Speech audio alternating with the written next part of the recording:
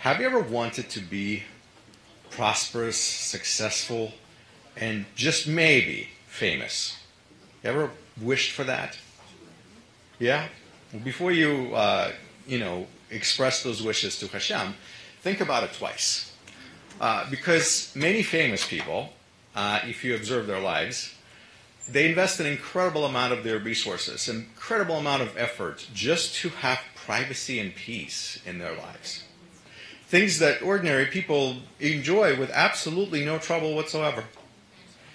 Now, uh, the stars, as people call them today, they can't just go out in public. They can't go anywhere without paparazzi jumping out and following them everywhere and then knowing every single thing they do, every move. People recognize them as they go everywhere. They stop them, they flag them down, they bother them. They can't just park their car and pop into a store to get a couple of things, like you and I.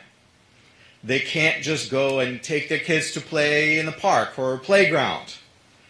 They can't even walk by the seaside and just enjoy the sand and the water unless it's a private beach and there's actually nobody there to bother them.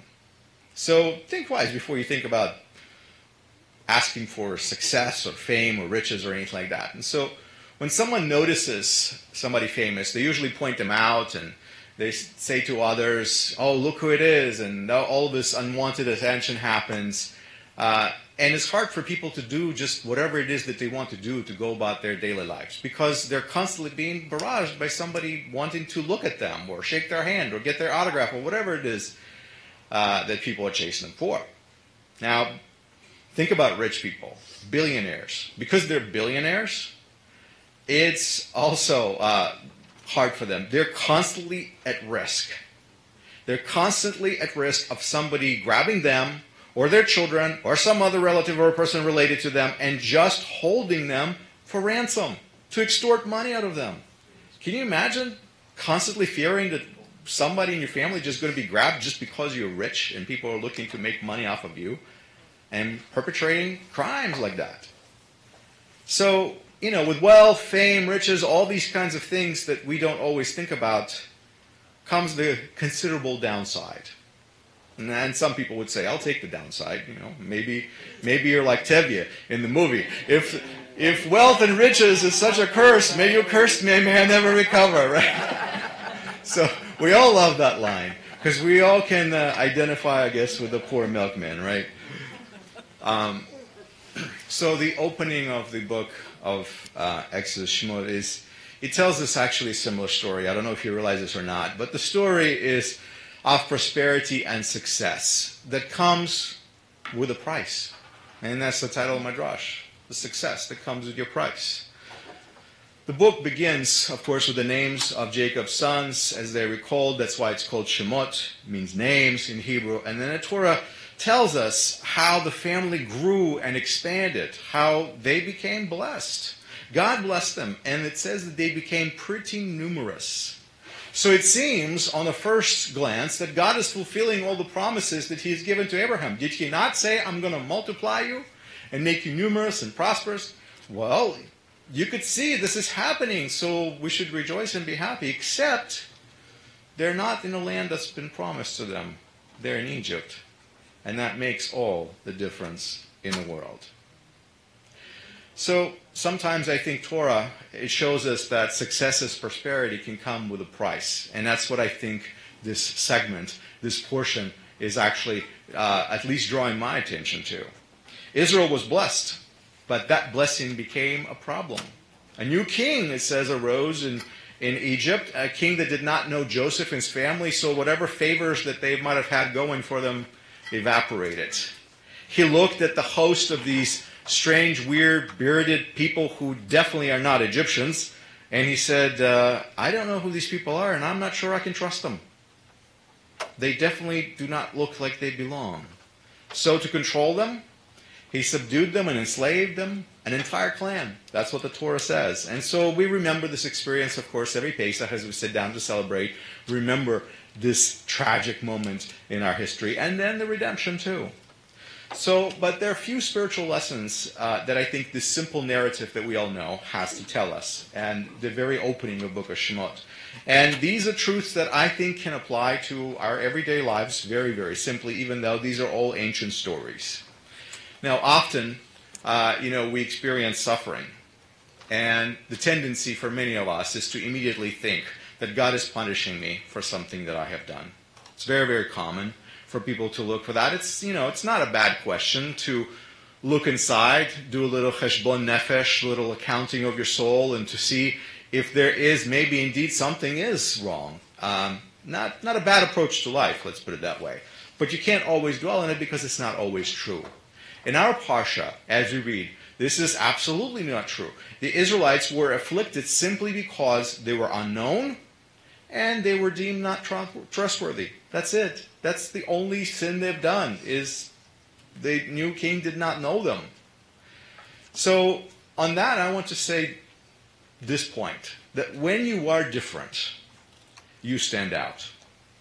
And that makes you a minority immediately. And that can put a proverbial target on your back and even put your life in danger. And that's what I see happening in this parsha, and that's what sometimes happens in our lives. Now, as you going through difficult moments in your life, maybe some persecution and suffering, don't count on people around you always to understand what's happening. Be prepared that people will look at situations and not see what's even going on. Uh, I'm reminded that when Yeshua was brutally beaten and hung on the cross, that he was hung there by the Romans, some people thought that he deserved it. They looked at him and they even taunted him, saying, Why don't you come down? not really understanding even why that was happening. So there are plenty of examples of suffering that really did not was not brought on for any reason of sin whatsoever. I mean, I'm thinking of the story of Joseph that we just finished reading, and so here he is in the house of Potiphar, being blessed by God just because he is a God honoring person. And yet that blessing turns into a curse because all of a sudden he stands out, he's different, attention is paid to him, and now requests for things are coming in his direction that he does not wish to satisfy. And he gets persecuted. And he ends up in jail. And he didn't do anything wrong. In fact, he tried to do everything right. So sometimes the price of following the path laid out uh, for you is steep. Sometimes that's the price you have to pay, just like Joseph. And others around you will not always understand, um, or sometimes even say insensitive things. Maybe you've had that happen in your life. To us, the fact that we're suffering for no good reason seems like a paradox because we don't realize why things happen in our lives. Uh, but we should be joyful about this because actually Hashem is right there with us. A couple of decades ago, I uh, read a book by Rabbi Harold Kushner. Maybe you've read it too. When bad things happen to good people it, it, was a long time ago that I read that book, but you know, I still remember some of the points from that book. Uh, it's how it sort of say affected me. It deals with questions of doubt uh, that many quite spiritual uh, and good people have about tragedy and suffering and pain uh, that comes into our life when we seem to be doing pretty good. That when we're living at our best, all of a sudden these things happen. So Rabbi Kushner wrote this book to help people deal with these kinds of logical but difficult questions. And he makes some helpful points. One of them that I particularly remember that I'm not going to get right, so I'm just going to paraphrase it in, in the way that uh, it comes to me right now, is that not all adversity in your life comes because you're being punished or tested.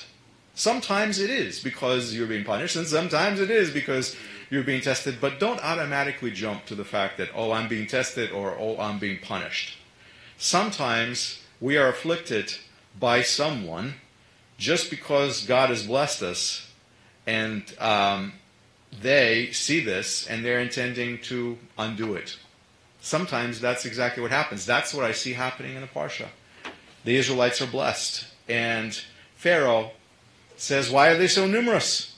We need to cut down their numbers. So, of course, he goes to the midwives and tell them, Stop, start killing babies, right? That's his solution. That was the case with Pharaoh. That's the story that we're reading. So if we're blessed, if we're successful, if we're prosperous, good looking, intelligent, numerous. Please add another adjective from your own vocabulary of positive adjectives. Fill in that blank. We might experience outright persecution brought to us by other people. Now, we should be prepared for this and keep our focus on Hashem because He never fails us, He never leaves us alone. There's a saying that I love that comes from Hasidic wisdom.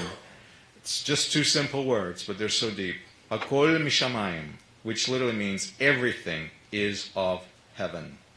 And we should not be quick to despair, but we should always look to Hashem because a lot of times we don't even see His purposes.